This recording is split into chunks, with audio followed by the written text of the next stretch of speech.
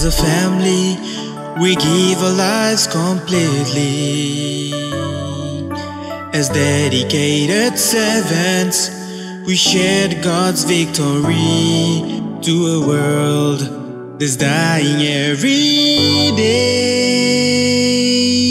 We need to reach them. We need to tell them there's a better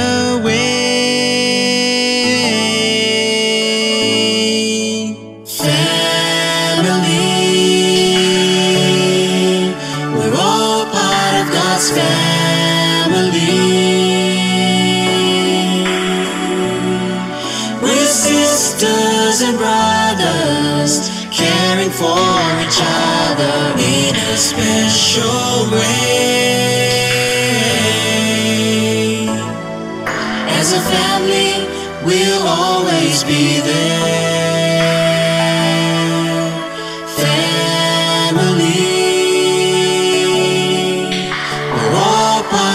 God's family. Oh, we want you to be a part of God's family.